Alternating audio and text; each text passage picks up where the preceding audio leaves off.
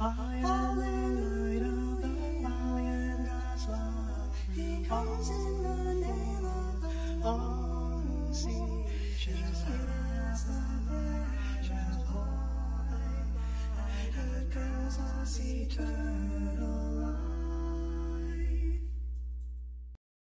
You know him from the Terry and Jesse show, and I have, with great admiration, I'm able to welcome Jesse Romero to our San Diego event.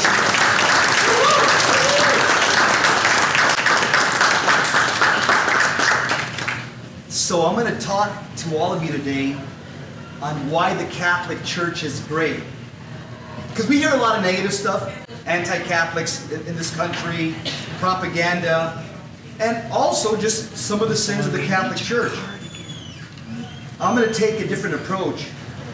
I'm going to share with you at least two dozen things that make the Roman Catholic Church totally unique, unlike any other religion on planet Earth. Here's the first one I want to share with you. The Catholic Church, first of all, was started by the Lord Jesus Christ, the Son of God. And so I'm going to share, share with you the greatness. When the Catholic Church is followed, and when a life of holiness is pursued, and when people live in a state of grace, the Catholic Church produces amazing feats in history. Here's the first one. The Catholic Church built the college, college and university system. The very first university was built by the Catholic Church in the 9th century in Salerno, Italy. When I talk to young people, they say, I used to be Catholic, but then I went to college and I studied science and now I'm not Catholic. I say, did you know that it was the Catholic Church that gave us the discipline of science? It was the Catholic Church that built the first university in the 9th century, and from there, the university systems just spread around Europe like wildfire. So higher education is the brainchild of the Roman Catholic Church. Here's another one. Hospitals. Have you ever been sick? I've been sick.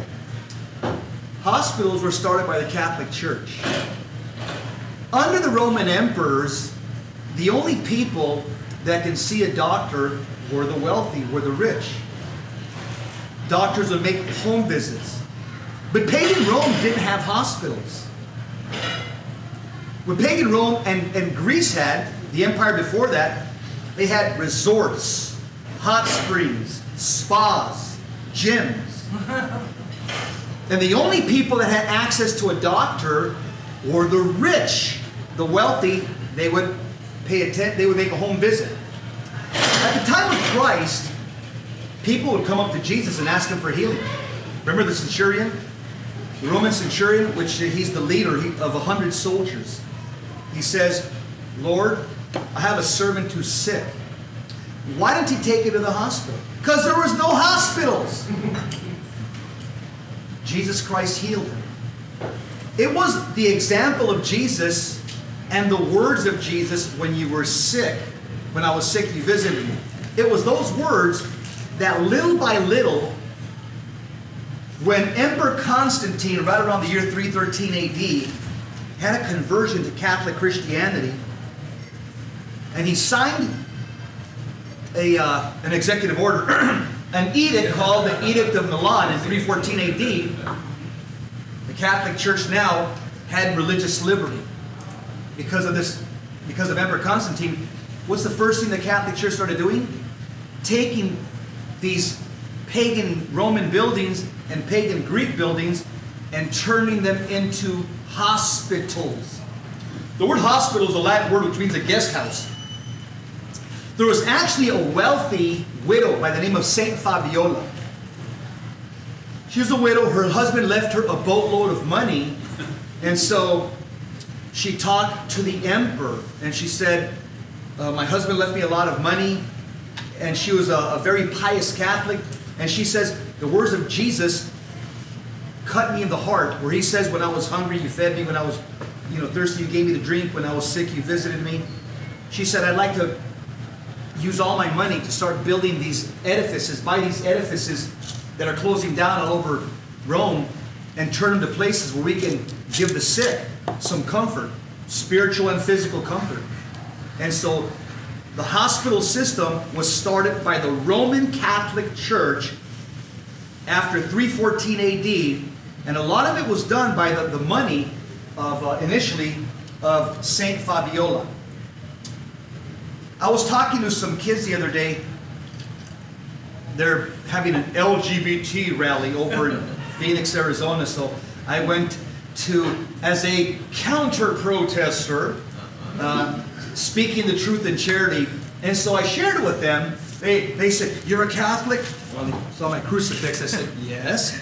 And you guys hate the LGBT, LGBT community. I said, Really? I said, Have you ever read what the Catholic Church says about homosexuals? In paragraph 2358. It says homosexual persons are called to be treated with compassion and with care, uh, you know, for their disorders. It is the most loving paragraph I've ever seen in my life in regards to how to treat people that have same-sex attractions. But I did tell these young kids, there's about two dozen of them. I said, but you know what Muslims do with you guys? You can go on YouTube. They throw you off the roof with your hands tied behind your back, head first, or they cut your head off I said, that's what they do. And in fact, in case you didn't know, young people, 25% of people that are dying right now of AIDS are being treated for free in Catholic AIDS hospices. That's, what, that's how we treat homosexuals. We care for their body and soul as they're about to die because of their disordered lifestyle.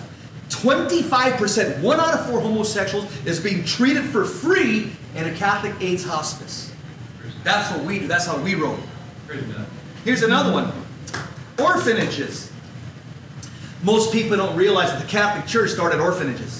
See, this is my next book. Okay, so I'm giving you these are the bullet points. This is my next book. I'm gonna I, I'm gonna preach this till I drop dead because I'm gonna give you the pearls of Catholicism that most people don't know. Okay. The orphanages were started by the Catholic Church. In the letter of James, I think it's James chapter 1, I forget what verse, James, the, the cousin of our Lord Jesus Christ, says that we are called to take care of widows and orphans. So that's a biblical mandate. If anyone thinks he is religious and does not bridle his tongue, but deceives his heart, this man's religion is in vain. Religion that is pure and undefiled before God and the Father is this to visit orphans and widows in their affliction, and to keep oneself unstained from the world. James 1 26 to 27. Now, here's what would happen in pagan Greece and in pagan Rome. Both of them had uh. The Greeks had Athens and Spartans, and the Romans had the, the legionnaires. What those men would do when their wife would have a baby boy, they would, the, the man, the husband, would look at their son and he would determine if this son was going to make a good Spartan or a good Roman legionnaire. If the father determined that he's going to make a good soldier, they would raise him like a pit bull and teach him to fight. But if the boy had any type of defects, any type of defects, the Greek fathers and the Roman fathers would take their sons and throw them in the trash. This is history. They said, ah, Down syndrome, throw that one in the trash. Ah, clubfoot, throw that one in the trash. That was common. That's what the pagans did with their boys who they determined were not going to grow up and be great fighters. Well, what happened? The Catholics at night that were basically, you know, living uh, underground in the catacombs, you know, uh, it was an underground church under the pagan Roman emperors. The Catholics would hear the babies crying in the trash cans and in the dumps, and the Catholics would go out there and pick up the babies and take them home and raise them. Catholic orphanages were started by individual Catholics that would pick up Greek and Roman babies from the trash and raise them to know the Lord Jesus Christ. And from then on, it became institutionalized in the fourth century once Emperor Constantine lifted the, uh, the religious persecution of Catholics and he gave us religious liberty, then it became more institutionalized and annexed with the church. Here's another one. Did you know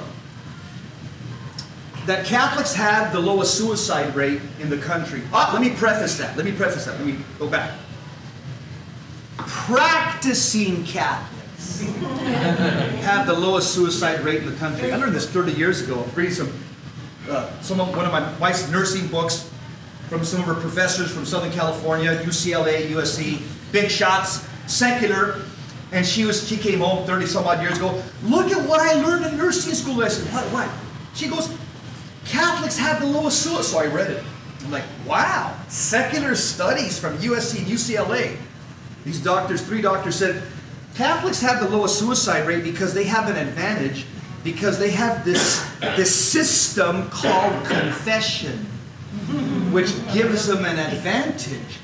Because other religions don't have the ability to, to feel redeemed and to feel, you know, uh, th- this guilt that they carry lifted. They don't. They just go around saying, oh, I accept that Jesus is Lord and Savior. I said the sinner's prayer, but they go back in the room. They're so depressed.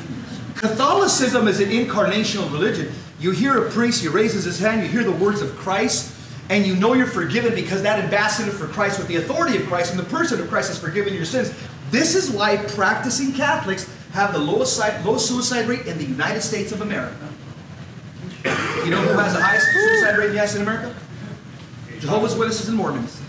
I'm talking about religions. Highest. Okay? These are just, these is what, what, this is what the studies bear. Here's another one.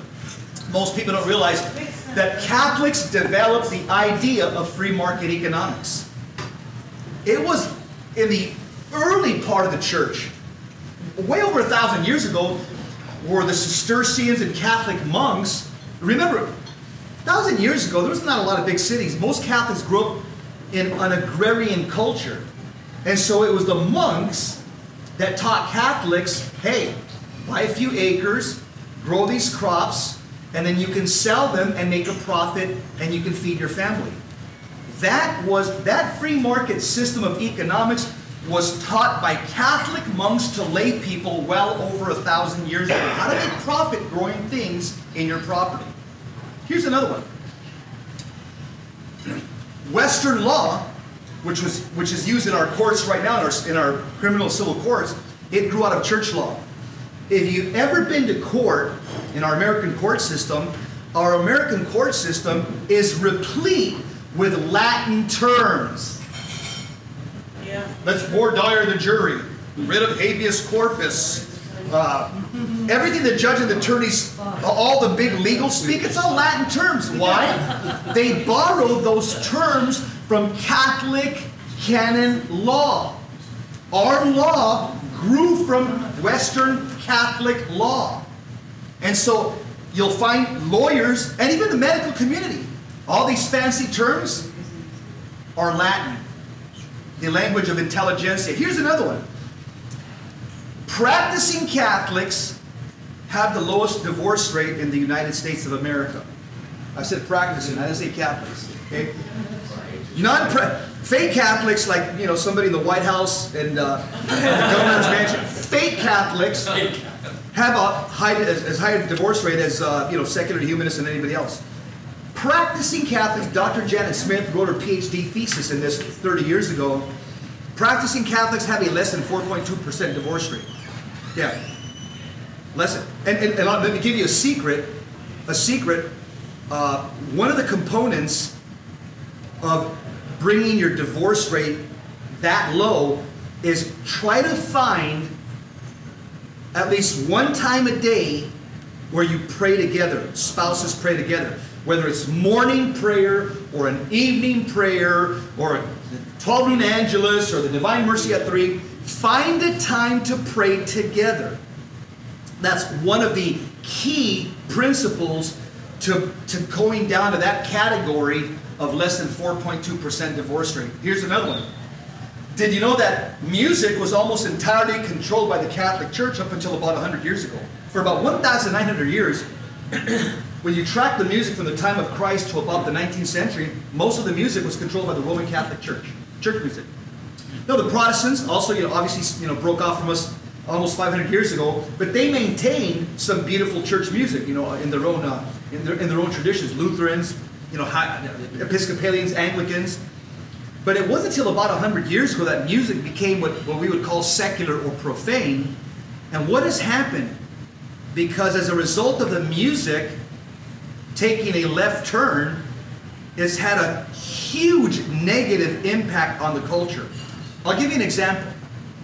I grew up uh, in a suburb of Los Angeles. In the 70s, I was, uh, you know, I was a youngster. I was a, a, teenager. In the 80s, I was a young man. I grew up in, in where I grew up in. I grew up on some of the most beautiful black music of that era. Lionel Richie, Yeah. Al Green, Yeah. Uh, I, I mean, uh, Stevie Wonder, Diana Ross. Uh, this, this, mu- this is the music. It was music that promoted love. The new black artists that, that, are, that have come up since the 90s and 2000s absolutely have destroyed the black culture. Music has a powerful effect on the imagination. And now, the lyrics that they're putting out now, wicked, destructive, evil, diabolical.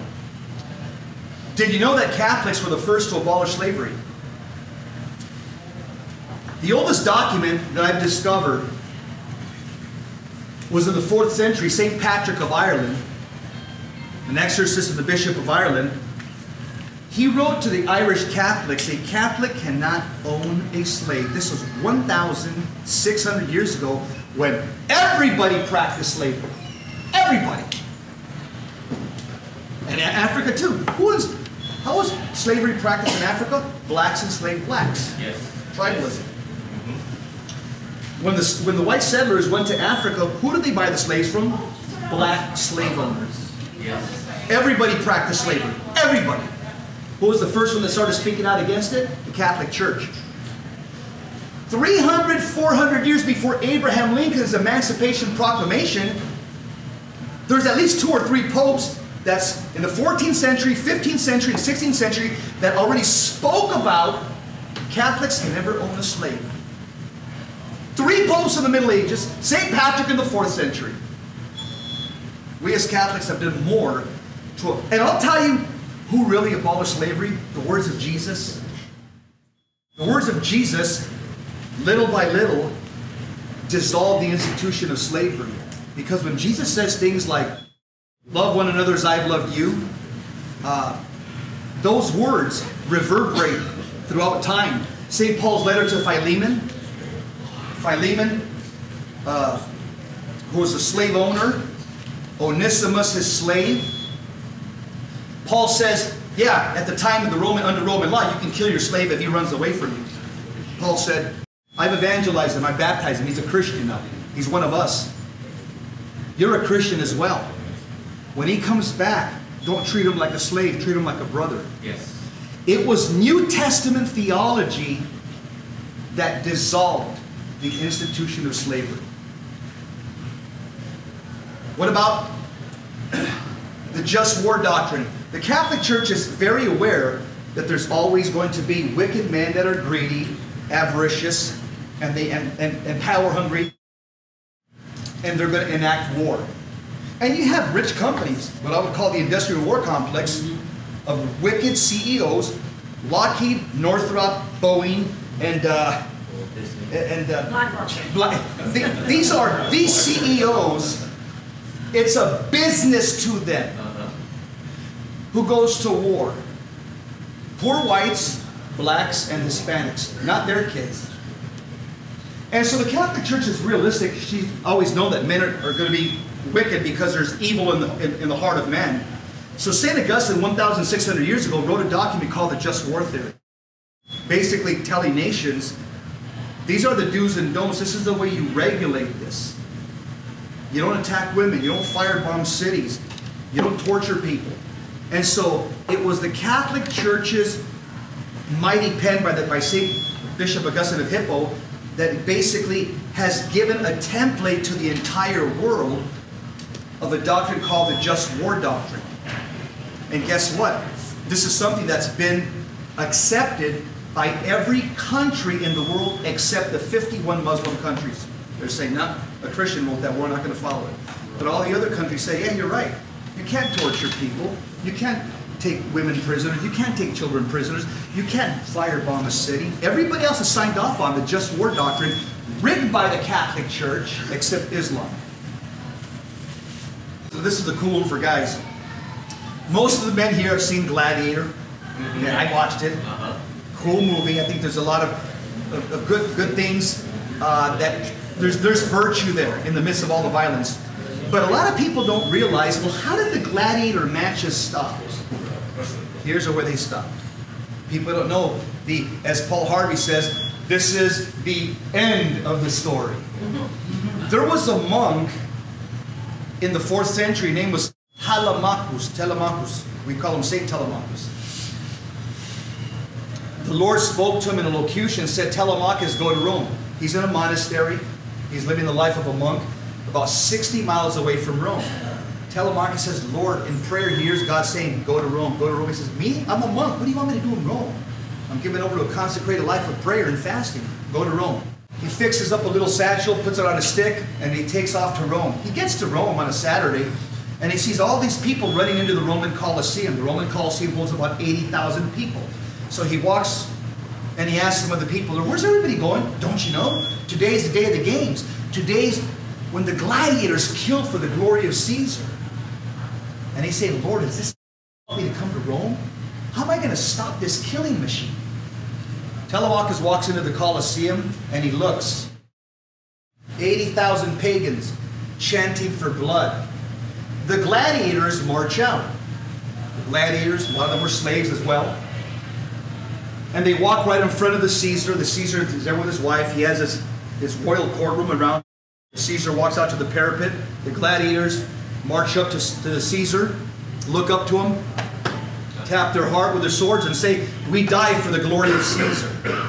Telemachus says, Lord, why did you bring me here? What, what can I do? I'm just a monk. Telemachus says, I've got to do something. And He jumped out into the pit. It's about a 20 foot drop. Jumped down into the pit, wiped his tunic off, and ran up right underneath the parapet and looked at the emperor. All the gladiators were in, in, in, in file, and columns right behind him. He walks up and he says to the Caesar, In the name of Jesus Christ, stop the killing. Caesar, the emperor looks at him and says, What? Who is this guy? Get this guy off the field. One of the gladiators takes out his sword, walks up to St. Telemachus with the back of the sword. He slams him in the chest. Telemachus bends over, slam of the blade hitting him in the chest. He rolls over backward. He gets up. He's had the wind knocked out of him. He runs up again right underneath the parapet and he looks at the emperor and he says, In the name of Jesus Christ, stop the killing. The emperor says, Who is this little guy? Mm-hmm. then he said, Run him through. The crowds began to chant, Run them through, run them through, run them through. 80,000 people, run them through. A gladiator takes out a sword, walks up to Telemachus. A third time he says, In the name of Jesus Christ, stop the killing. One of the gladiators walks up in front of St. Telemachus, takes out a sword, sticks it right in his belly, comes out his back. Telemachus drops on the floor, immediately in a pool of his own blood. He's in a supine position. He looks up at the emperor and he says, In the name of Jesus Christ, stop the killing. Amen. And he breathed his last breath. The emperor saw that, snapped his fingers. His wife stood up, grabbed his arm, pulled his finger. He said, Let's go. Called everybody out. Hmm. Quietly, little by little, the Roman Colosseum started emptying. Within 15 minutes, it was completely empty. There was one person left. St. Telemachus, Father Telemachus, was in the middle of the Colosseum in a pool of his own blood. Who was there with him? Jesus Christ. The Roman emperor was so moved by the courage of this Catholic priest, he went to his room, he wrote a decree, and he said, No more gladiator killings in Rome. Really? This is how that institution that lasted 800 years stopped because there was a brave Catholic priest that was willing to give his life in the name of Jesus.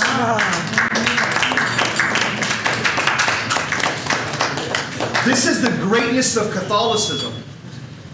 When Catholicism is lived, it is the most powerful force in the world. And this is why the devil knows. The devil doesn't fear the Democrats or the Republicans or the Greenpeace Party or, uh, you know, Mexico PRI or PAN or, you know. The, the devil fears the Catholic Church. It is the bride of Christ. It is the one true church. It is the Catholic Church's authority and her teachings, which are perfect. Not the people, we're all sinners. Okay? We're sinners. The church's teachings are absolutely perfect because it's the doctrine of Christ. And as Catholics, what does the devil fear? The fact that in every Catholic church, Jesus Christ becomes present. Amen. Jesus Christ becomes present. This is why, and I've, I've talked to Satanists and witches. I've interviewed them on radio. I've talked to them in person. They've told me, Satanists and witches have told me, we don't fear Islam. It's a fake religion. We don't fear Protestants. They have no power. We don't fear Jews. It's an obsolete religion. Our enemies is the Catholic Church. Satanists and witches will tell you that because they know the church, the only church where God comes down and becomes present on that altar. It's our church. And this is a church that again is targeted for extermination by the enemy. Remember this the devil has an expiration date. He has an expiration. Revelation chapter 20, verse 10. The Bible tells us that when Jesus comes back, the Bible says he will get the Antichrist, the Satan, and the false prophet, and he will throw them into hell and seal hell up forever. Satan knows that he has an expiration date. Revelation chapter 12, verse 12. The Bible says that Satan says he knows that his time is short. Mm-hmm. Now, in Luke chapter 1, the Bible tells us about Jesus. And it says, the Son of God who will rule on Jacob's throne. His kingdom will last forever and ever and ever. There is no expiration date to the kingdom of Christ, which is the Catholic Church. Amen.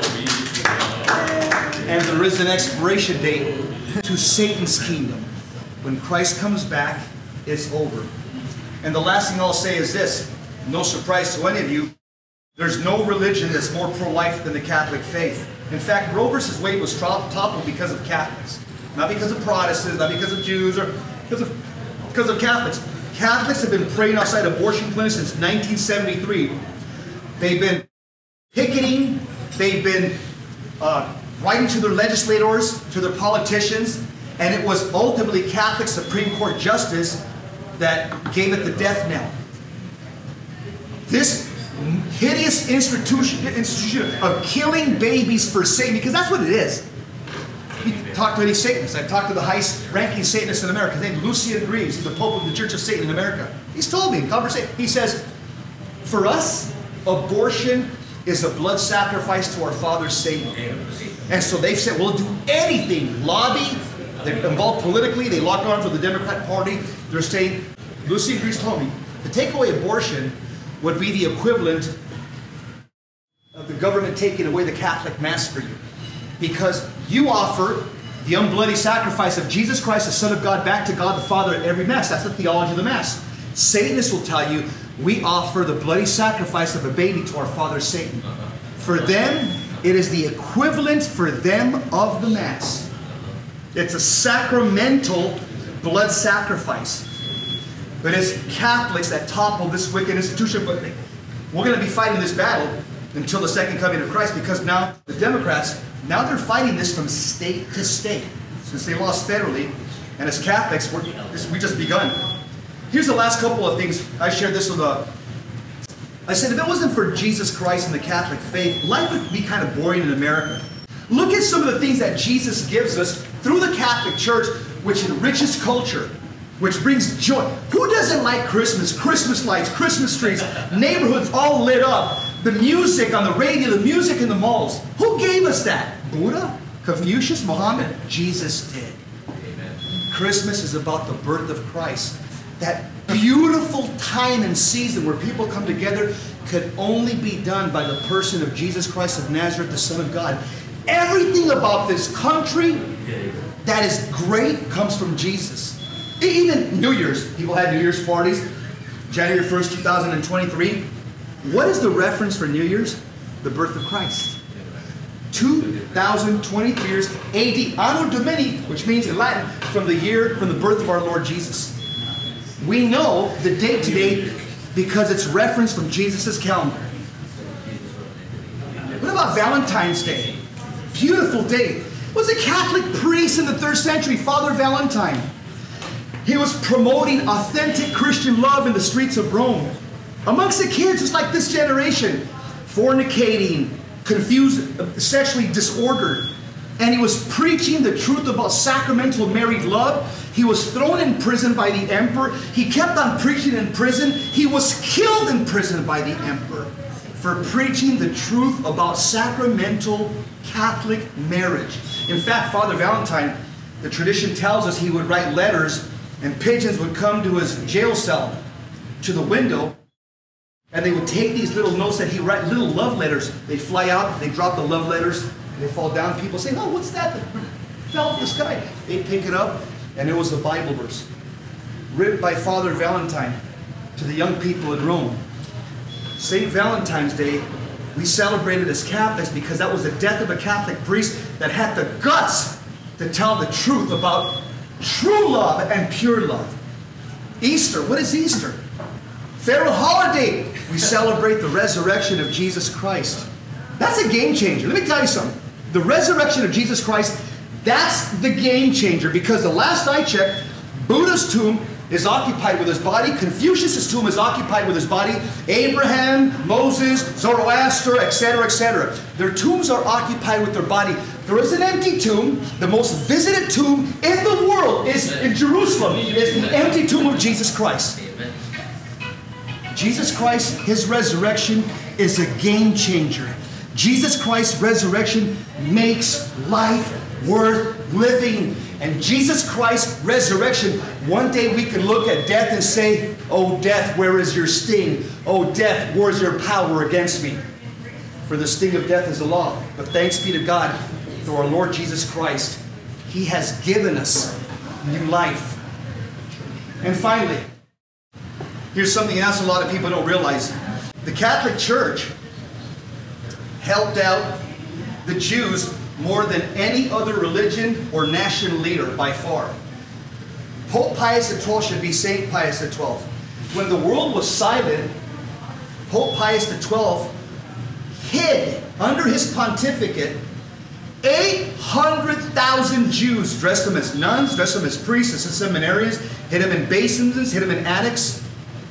The Jews to this day, there's a field in Jerusalem, and it's called the Field of the Gentiles. The Jews, back in the 40s, after World War II was over, they planted 800 trees there. And the Jews called Pope Pius XII the righteous Gentile. That field is dedicated to him, and every tree represents a thousand Jews that he saved. The Jews write, Rabbi Lapid and others say, this Pope single-handedly saved 800,000 Jews from extermination. The Catholic Church has been, in fact, there was a, a very famous Jew in Rome named Rabbi Zolli. He was so moved by the, the charity and the courage of Pope Pius XII, Rabbi Zolli, who was a rabbi for 45 years, an expert in Old Testament, the Hebrew Scriptures, Rabbi Zolli, after World War II, was baptized in the Catholic Church by Pope Pius XII. The church gave us science. The church built the first telescope. The church gave us the Holy Bible. The church built the first printing press. Well, I can go on and on. You're going to love this book when it comes out. This book isn't going to make you, isn't to make you proud to be Catholic. It's going to give you the answers. So when you talk to non-Catholic friends, say, "Did you know? Did you know?" They're going to say, "What? You're going to give people an intellectual charity horse." Uh-huh. But this is, see, what I'm sharing with you is this is the glory of Catholicism. The church can only produce this because it's the bride of Christ. Amen. Amen? Amen. We're done. In the name of the Father, Son, and the Holy Spirit. Amen.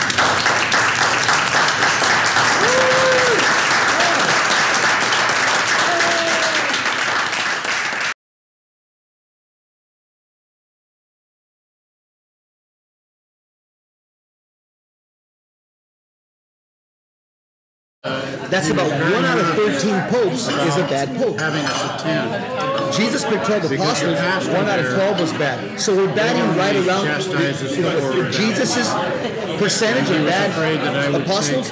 We're right around there. One out of 13 popes has been bad. And I We've said, had 19 bad popes, it's your objectively wedding." speaking. And uh, I doubt And so- going on that topic. It doesn't. It shouldn't scandalize Catholics. We've been here before. But the reason people are scandalized by Pope Francis is because well, we've had about if it was 200 years of good popes. Probably wasn't. So we're not used to this. But uh, But objectively speaking, but they're a lovely, a lovely congregation. Pope Very Francis strong, strong. He's a modernist, which means, and you can see what he writes and when he talks, So he has more, a modernist Catholic is somebody who has more of a natural view of everything. Like, let's fix the planet, let's take, you know, plastic out of the ocean, let's when we went in recycle. there- This is a natural view of the cosmos. He doesn't have a, a supernatural view of the cosmos like Pope Benedict, John Paul II. you. His emphasis is on, uh, again, uh, building bridges with the LGBT community and, and uh, you know But it's a Klaus Schwab and Bill Gates. Near Boeing Field. His emphasis is the Pope should be the salvation of souls. The congregation is very small. Maybe Jesus died for our sins on the cross, and that, that should be the message from Pope Francis. But a lot of it's not his fault because they. he's a Jesuit.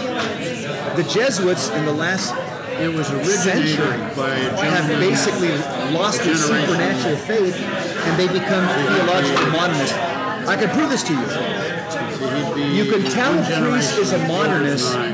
He just passed when they away say at 90 about the stories of Jesus Christ multiplying loaves and fishes, and they say, oh, by the way, uh, Jesus really didn't Yes, perform brought a miracle. What happened is that Jesus' words were so a- impactful that the people, a, it opened their hearts and they became generous and they had fish and, and, and, and, and loaves underneath their tunics and they started sharing because they heard the message. Guess what? Santa Ana. Pope Francis gave that homily a few Yeah, years ago. I don't know It's from the Vatican website. He actually said that. Yeah, absolutely. He's a modernist. Phoenix. He's, why, he's been, Jefferson he's Bible been when they took trained by the Jesuits. The Jesuits have, in the last hundred years, they have went from being the the Navy SEALs of the Catholic Church. They are now the uh, theological modernists and liberals in Catholicism. They've lost their faith. Oh yeah. Oh, absolutely. This way before it goes on. Our Lady which was run by a Jesuit priest. There's some that are still good, but again, the ones in high positions, like for example, Father Sosa, he's the top Jesuit in the world. He says there's no devil.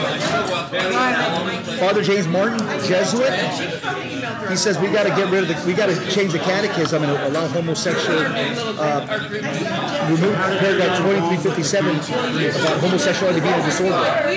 The biggest troublemakers in the world right now are Jesuits. They've lost their faith. They're not supposed to be popes either. They take the vow not to be a, not ever to be a pope. That's why uh, Pope Francis well, says he's only the Bishop of Rome. Yeah, he And won't wear red shoes. He won't say he's a pope. He won't sign it, uh, a letter as the Pope. Because, I mean, the, the Lutheran Church. He calls himself the Bishop of Rome. You know this, they all moved out to Arizona Oh, Arizona?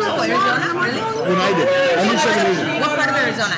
I moved from I moved from here seven years ago. Because you were in LA, right? I live in city, the city of San Fernando, which is a suburb. It's a suburb of, of, of LA. I moved seven years ago. Um, And I told my kids, I said, you guys, if you guys get married, start having kids, you better move to a friendlier state. Now, when I moved out here, we had a great governor, we had a great sheriff, and a great bishop. That's all past tense. Now we have a horrible governor, she stole the election. Now we have a liberal sheriff, a George Soros sheriff, but now we have a pro-LGBT bishop. So when I moved seven years ago, I moved into America, and now it's just the extension of California. Yeah, that's all it is now. When did you when did you retire as a policeman? 2003. I worked 22 years in the sheriff's LAPD? department. LA No, sheriff.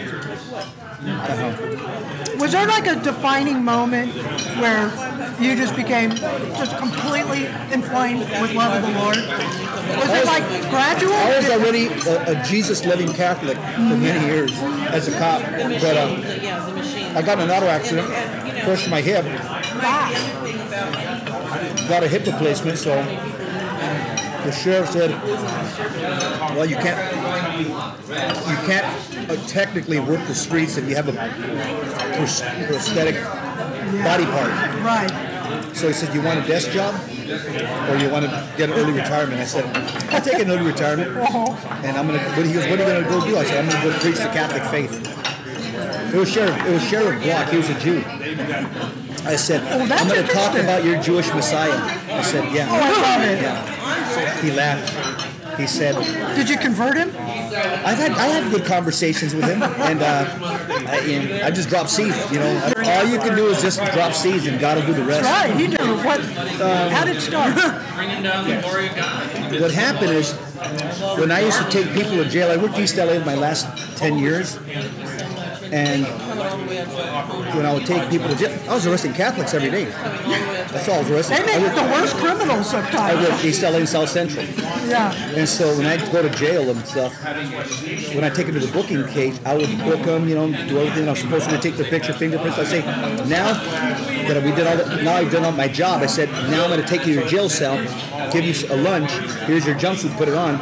And I want to talk to you about Jesus. You want to hear about him? You're just arrested me. Yeah, I know. I did what I had to do. You're Catholic, right? Yeah. I want to talk to you about Jesus. You want, you want to hear about him? Absolutely.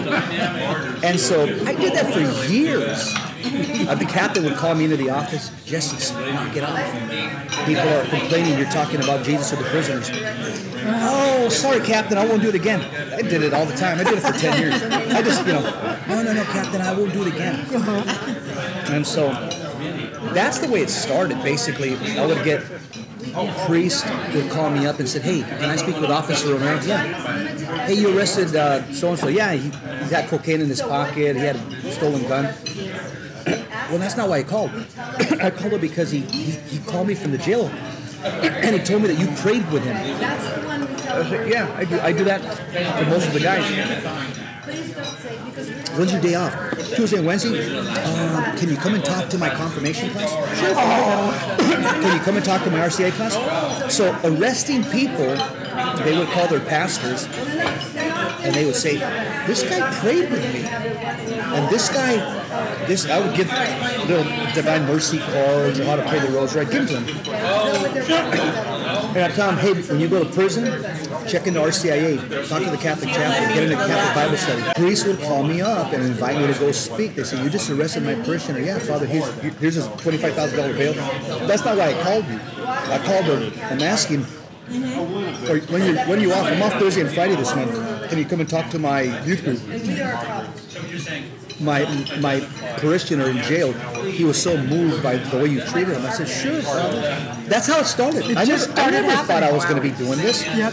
But I just, when I fell in love with Jesus, and I fell in love with Jesus at the age of 12, I'm 61. I fell in love with by Jesus. the way? I fell in love with Jesus at 26 years old in, the, in a police car. As, I'm, as I'm looking at the chaos in East LA amongst Catholics, Latinos, and gangs, I'm saying, this life is crap. There's got to be something more. And so I'd go home at my end of PM shift, And I, my mom would, I came, my mom and dad say, Mijo, start reading the Bible. You got to get to know Jesus. I said, yeah, yeah, you're right. You're right. So I listened to my mom and dad. At 26, I said, all right, who is this Jesus guy? I mean, I'm Catholic. I go to Mass every Sunday. There's statues and images. But who is he? So I just, I said, I'm not stupid. I can make up my mind. If this story's bullshit, then I'm out of here. But if, this, if there's something to this story, then, then, I'm, then I got to jump in feet first. And so I just began reading as a young man the Gospels every night when I'd get home. And I can just tell you, the story of Jesus Christ is absolutely true. There is nothing more true than Jesus. And I said, I'm in. Sign me up. I want to follow you forever. Uh, every when you read the Gospels, all of us are born with a bullshit meter. We know when people are bullshitting us. Okay? We do. Anten- our antennas go up. It's, it's a gift of the Holy Spirit. It's, it's a bullshit meter. We know when we're hearing lies. And at 26, as I'm reading the Gospels, I'm saying, wow, he is amazing. And he walked upon the earth and he started the Catholic faith and he died for my sins. All of those things started like exploding in my heart. And I said, I'm going to make it a point that anybody I arrest at this point that's open, I'm not going to force it on anybody, but anybody that's open, I'm going to share my love of Jesus Christ with them. And so that's how it started.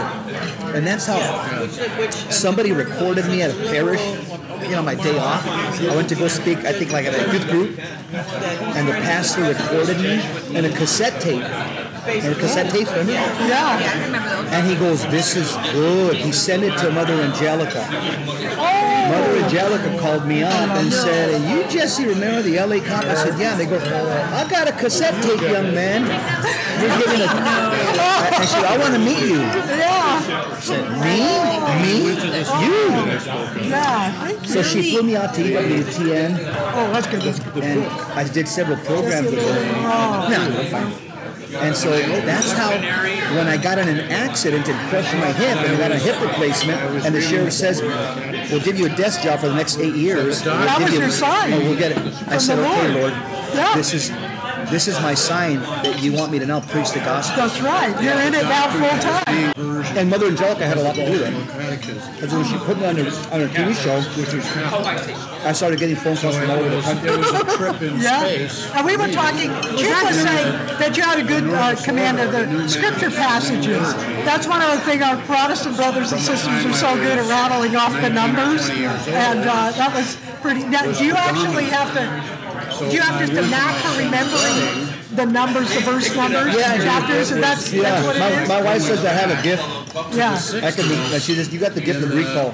yeah, So that's great. I guess I do. Because when I read something and if I like it, it sticks. It sticks. sticks like college. Yeah. Everybody. You can't live on planet Earth without encountering evil spirits. And so I just wrote about uh, a lot of things that I've seen, but also how they came in here. They've come in here through witchcraft, Santa Muerte, Santeria, uh, Satanism.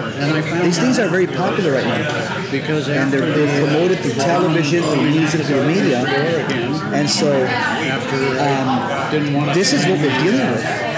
And it's all over. It's all over. It's, the Hollywood is replete with this. Most of the Hollywood people, the, the A-list actors, they're Satanists or Luciferians or Freemasons. So I went down uh, we just, and that's what I wrote about. We just have some very, very bad people in high places right now that openly worship Satan.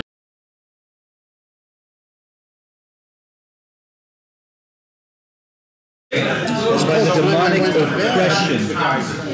Those are those are physical attacks upon your body by an evil spirit, and the way it feels, it feels like you can't get up. There's something on top of you, and it's very heavy, and you can't get up, and you want to wake up because at the same time you're having a nightmare. because it was picked in the uh, very There's a difference between a nightmare and a night terror. was testing the uh, A nightmare is when you're in full, full REM sleep.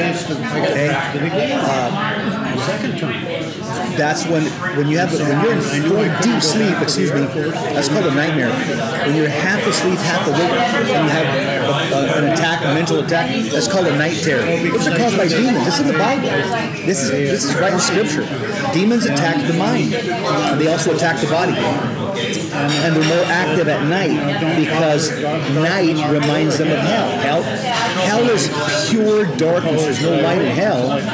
And so demons feel very comfortable attacking at night because that's that's their again that's just their comfort zone. So obsession, OB, those are mental attacks. Oppression, OP, those are physical attacks, and they're done by evil spirits. And this is in the Bible, and this is part of Catholic tradition.